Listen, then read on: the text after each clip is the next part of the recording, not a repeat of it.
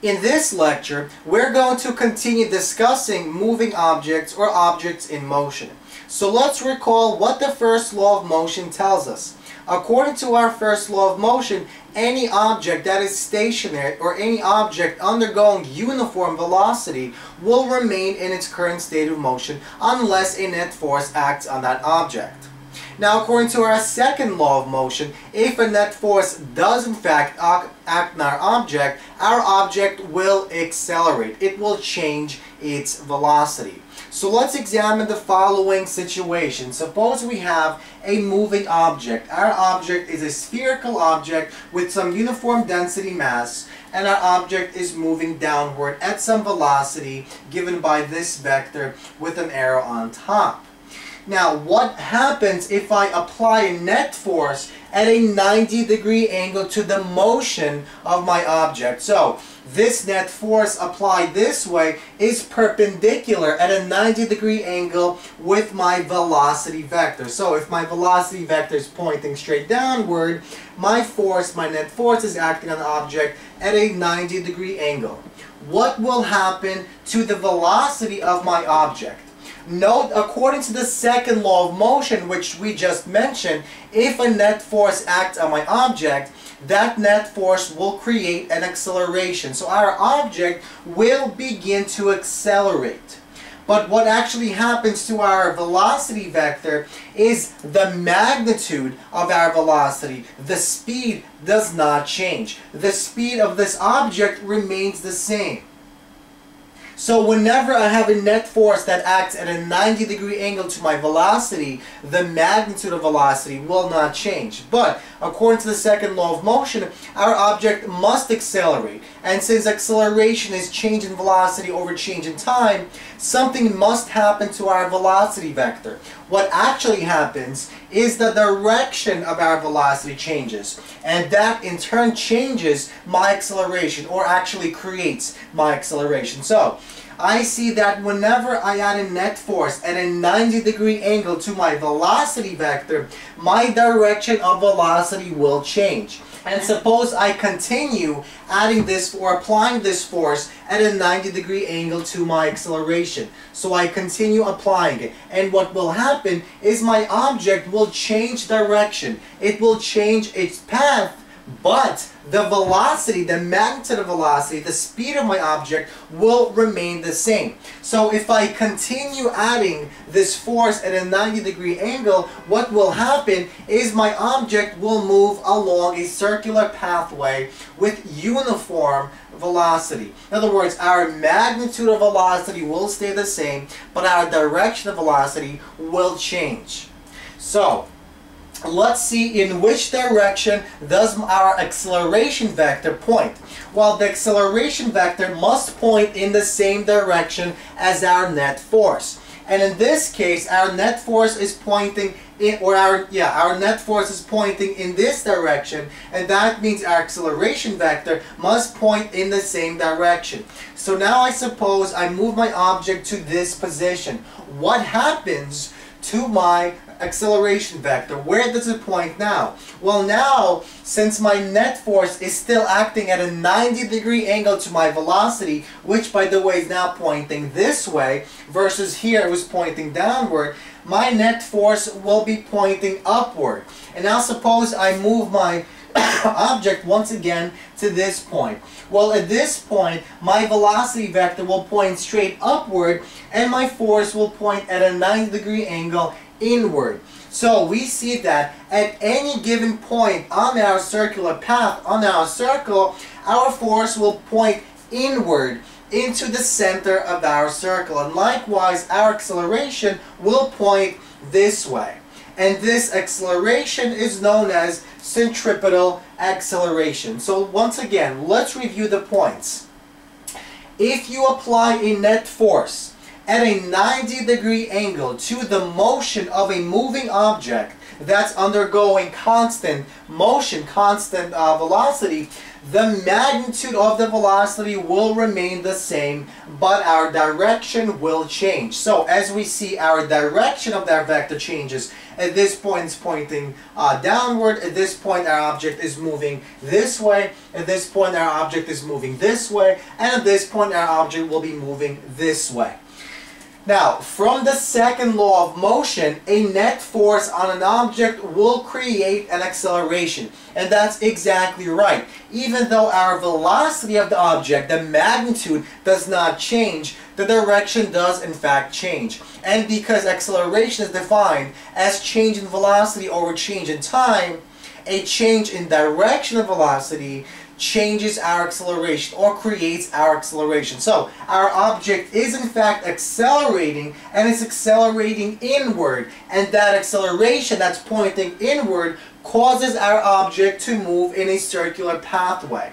Now, finally, any object moving with a constant magnitude of velocity in a circular pathway is accelerating and this acceleration is pointing inward and it's called centripetal acceleration.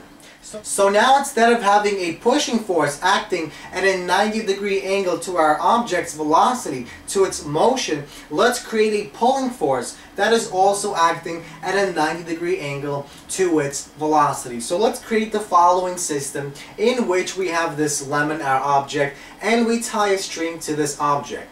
So let's look at the following system. Suppose I drop this object and at the instant I drop my object, it will have a velocity going directly downwards. Its motion at that instant will be going downwards and that's because gravity is pulling it directly downwards to the ground. So as I let go and as I begin rotating, pulling on my lemon, what will happen to my object's motion? So notice that at this point the velocity is pointing downward and I'm pulling on my object at an angle of 90 degrees to its motion. So let's see what happens.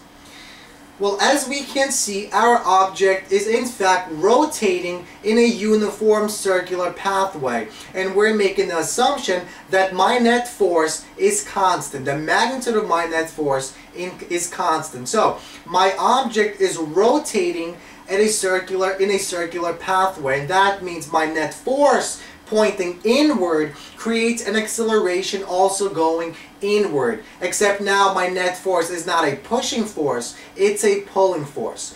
So let's examine our diagram of the lemon rotating in a circular pathway with a string attached to my lemon. So here I begin rotating, swinging my lemon, at this point, my velocity is pointing this way. At point number two, my velocity is pointing this way. At point number three, my velocity is pointing this way. And at position number four, my velocity is pointing this way. Now, instead of a force, a pushing force, pushing on my object, now I have a pulling force pulling on my object. This string in fact pulls on my object and it pulls downward in this case, downward in this case, downward in this case, and downward in this case. So in each, in each case, the force is pulling towards the center of my circle. And that means if my net force is acting towards the center of my circle, my acceleration also is acting towards the center of my circle. And that's exactly why my object is following a circular path in which its velocity, its magnitude of velocity is constant, but direction is continuously changing. Just like my acceleration, the magnitude of it is constant, but its direction is constantly changing. So once again, let's review what we just said. The string will exert a force, a pulling force, on the ball inward called the centripetal force. Now this force will create a centripetal acceleration which will move our object along a circular pathway. Now the formula for centripetal uh, acceleration is the following. Our centripetal acceleration is equal to velocity of the object squared divided by our distance r. So this will give us our magnitude of our acceleration, but in order to find the direction, we simply know that it's going inward into the center of our circle. And this is always true whenever we talk about uniform circular motion. Now, in order to find our centripetal force, our pulling force on this object or our pushing force on the object, we simply recall that force or net force is simply mass times acceleration. So, our centripetal force is simply m times our centripetal acceleration and we simply take this guy and plug it into our A and we get our centripetal force is equal to mass times velocity squared divided by distance r. This r is simply our radius of our circle, of our circular pathway. So, if we have some object that has a velocity or a magnitude of velocity of v, to find our centripetal force, we simply take the mass of that object multiplied by velocity squared and divided by the distance uh, uh, or the radius of our circle. Now, this guy comes from calculus. And if you're curious about how I got this, uh, just leave a comment below and I'll show you. So now let's talk about the final important point, orbiting objects. How do objects stay in orbit when they travel around our Earth? How does the moon stay in orbit and how do satellites, artificial satellites, stay in orbit? Well, it's the same exact idea as tying a string to a lemon. Except now, there's no string, the force comes from the gravitational force.